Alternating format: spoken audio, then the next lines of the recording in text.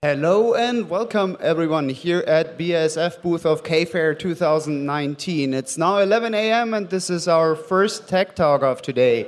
And I have Daniel Müller here with me who is in charge of the Competence Center for Film and Tape of the Plastic Additives business. And he'll be talking about Irgatec technology, which is a new way, a new approach to modify polypropylene.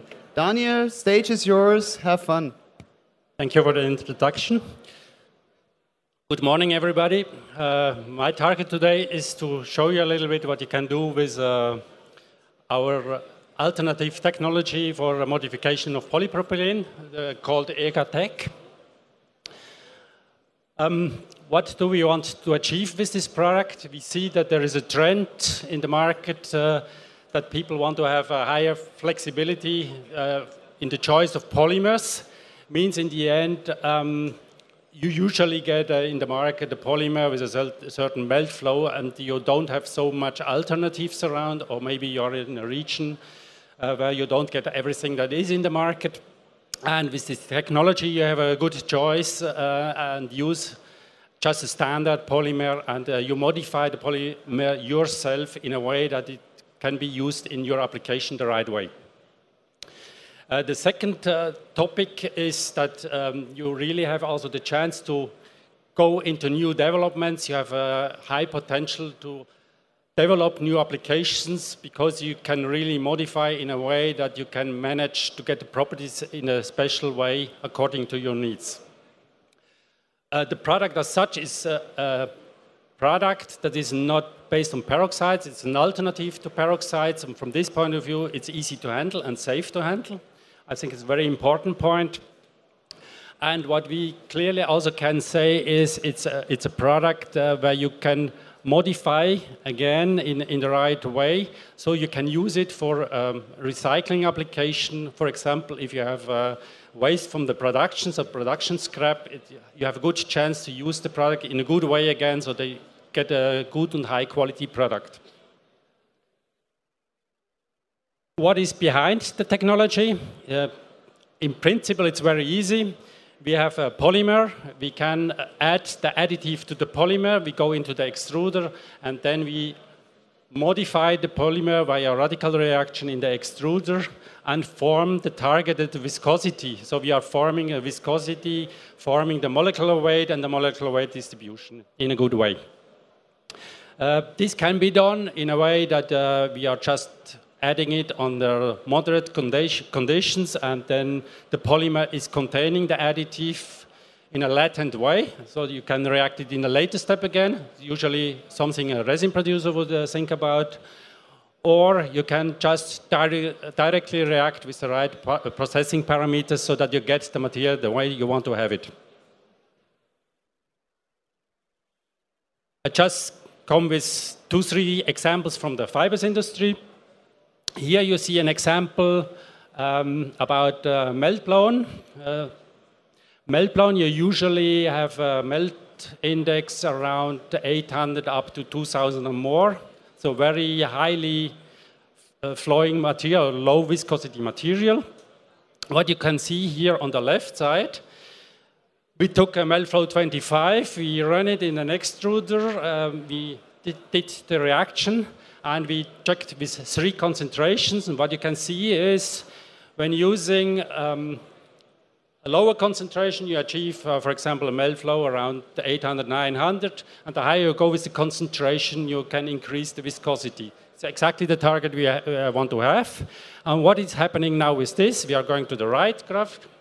And in the right graphic, you see uh, that the hydrostatic height is increasing. So we are getting a better barrier properties uh, what in the end means uh, increasing this property can be uh, good for having uh, more safety in the use of the product. Or the other option is uh, you can down-gauge the material because uh, you have a good barrier, so therefore you can use a little bit less of grammage in the end product.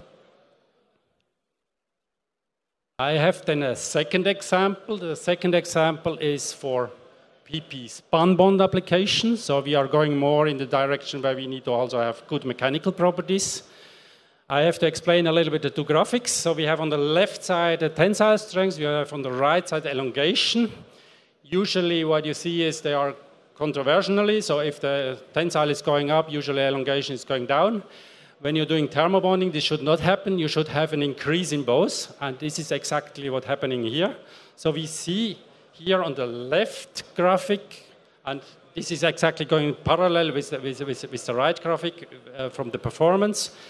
When using the, the CR technology, we achieve already at a lower thermobonding temperature, here in this case under 59 degrees C, we achieve already um, the mechanical property we want to have. We don't have to go to higher temperatures, so we are broadening the window. And on top of it, we are also increasing the mechanical properties um, of the products. Means in the end, what we achieve is we have a broader processing window, we have more safety in the production, we can go with lower temperatures, so means uh, we can maybe also save a little bit of energy. And because we have higher mechanical properties, we also have the chance to down-gauge the material.